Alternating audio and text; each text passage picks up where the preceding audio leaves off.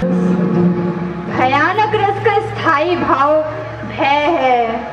ऐसा भय जिसे महसूस कर लोगों के रोंगटे खड़े हो जाएँ, जैसे बियावान जंगल में रात के घनघोर अंधेरे में जब कोई अकेला व्यक्ति हवा की सरसराहट सुनता है या पत्तों की खड़खड़ाहट सुनता है तब डर के मारे उसकी रूह काँप उठती है। भय सबके अंदर होता है। समय, स्थान और उसका प्रारूप हमारे मन मस्तिष्क पर प्रभाव डालता है, जिससे भय उत्पन्न होता है।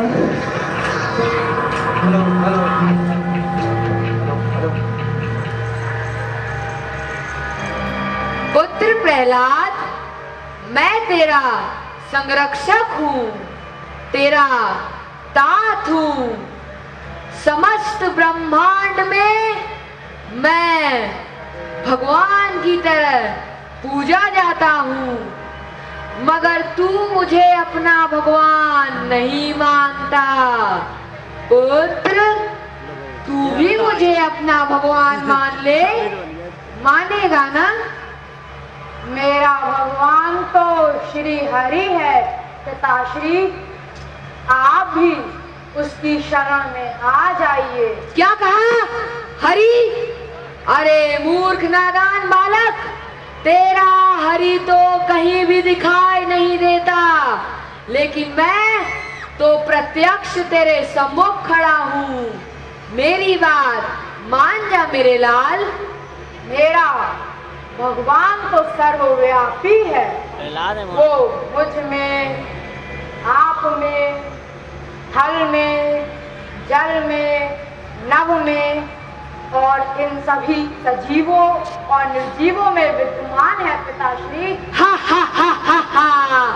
अच्छा तो इस खंभे में भी है तेरा जी पिताश्री इस खंभे में मुझे उसके साक्षात दर्शन हो रहे हैं। तो पुकार अपने भगवान को मैं तुझे प्राण दंड देता हूँ। सेनापति जी महाराज। इस बालक को इसी खंभे में बाँध दो। इसे तब तक कोड़े मारो जब तक इसके प्राण ना निकल जाए। परंतु महाराज। सेनापति आज्ञा का पालन हो। जो आज्ञा महाराज सैनिकों महाराज की आज्ञा का पालन हो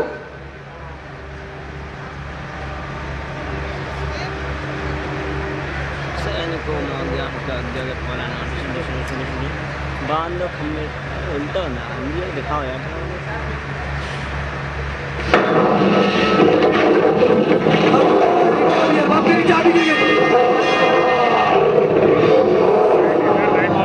चाबी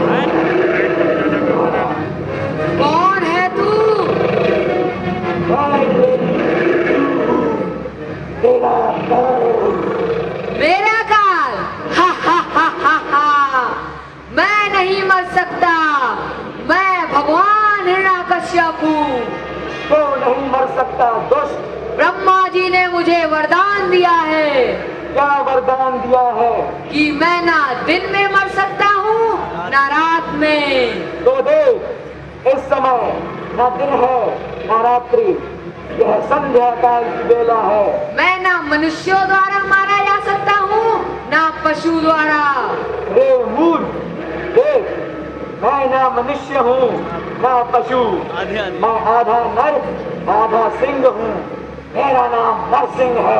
मैं ना घर के अंदर मर सकता हूँ ना घर के बाहर। तू न घर के अंदर है न घर के बाहर। इस वक्त दहली पर है। मैं ना अस्त्रों से मारा जा सकता हूँ ना शस्त्रों से। मेरे हाथ में ना कोई अस्त्र है ना शस्त्र। मैं अपने नखों से तेरा उधर फाड़ कर तेरा वध करूँगा। मैं ना धरती पर मारा जा सकता